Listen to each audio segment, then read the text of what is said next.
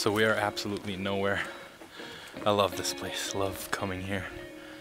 Such a beautiful, quiet, nice location. And, uh, and I can't believe they want to ruin that. They want to camp it out, put lights here, a bathroom. Well, I wouldn't mind the bathroom, but they want to put lights, big giant tent, so people could come here, pay money, so they could just sleep outdoors, and I just don't get it. Or this is such a nice dark location, and they want to take money for people to sleep here and but be comfortable with lights. That, that kind of beats the purpose. I just don't get it. I don't understand. Why would they do that? Anyway we're here. We have a 20 inch telescope. Gonna try to get a couple hours of data and uh, hope for the best. And uh, i'll see you at night maybe. I think we'll be able to see stuff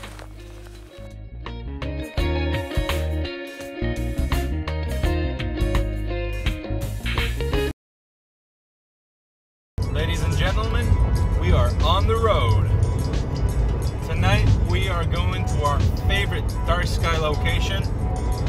It's a two and a half hour drive and it's Bortle Class 3. This place is sacred to us. And actually today we're going to be shooting a news story. The news story today is about this place actually. The National Parks Reserves Association wants to turn it into a lit campsite, and we cannot let that happen. This is our only dark sky location in the country. We cannot go anywhere else. And this is the darkest place, and it's only Bortle Class 3. It's not even a 1 or a 2.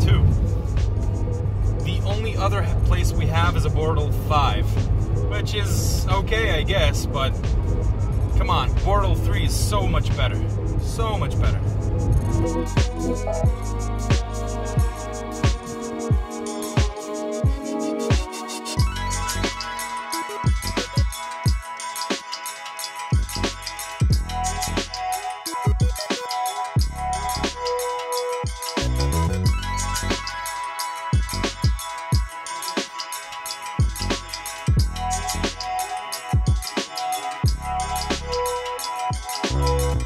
Right, so I want to explain why this is the only place we could go. As you can see, the rest of the country is quite light polluted. The only place I can go to in the center of the country is right around here. This place. That's a Bortle 5, which is okay, but we like going here, which is Bortle 3. Now, you might ask yourself, it's a tiny place right here. What about all the rest of the places around this place? Well, you need to realize that you have to have a road to get there, right? Because most of the area around here is unreachable with any vehicle. Um, well, maybe except a, a helicopter, but a car is impossible to get to most of these places. There's only one road stretching through here right just this one road. There's another place here we could go to but uh, there's a bit more lights around it and you can definitely see them and it's a bit worse in terms of light pollution so we like to get to this area here. Uh, the only thing that bothers us is this big bulb but it's far enough away to not bother us really.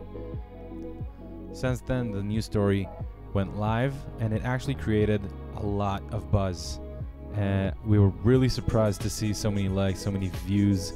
It actually got even more on Facebook, and uh, this was surprising. And we really hope this will push forward our cause to save this place from getting uh, light polluted and more buildings, and, and just keep it dark.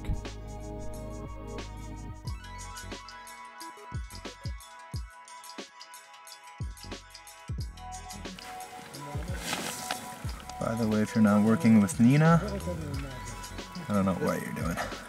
Such a good software. You can see everything. Your history, HFR ratings, guiding over here. That's frame and focus. Camera settings, or that the focuser settings. You can do the camera here.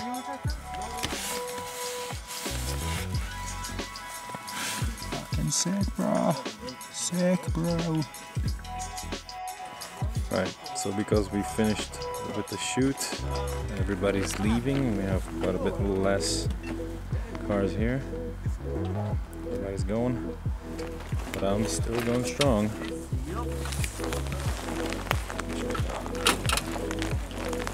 Still going strong.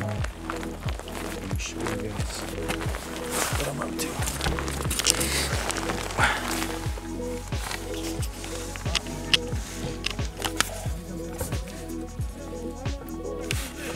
That's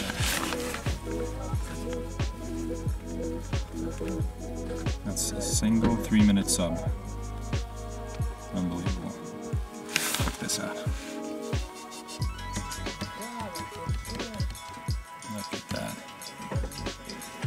Single sub. Insanity.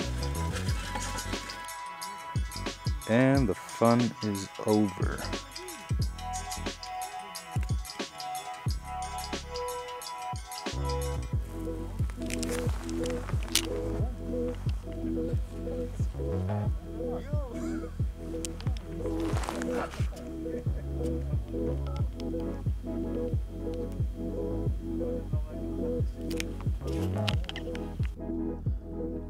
Leave you guys with the image I got from that night.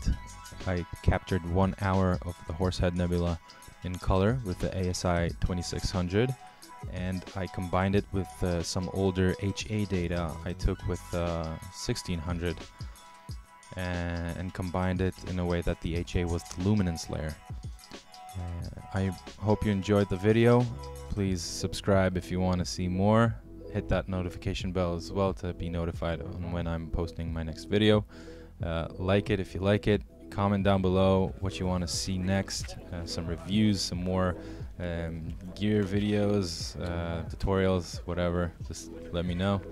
And uh, I hope you have great skies and awesome images in the future.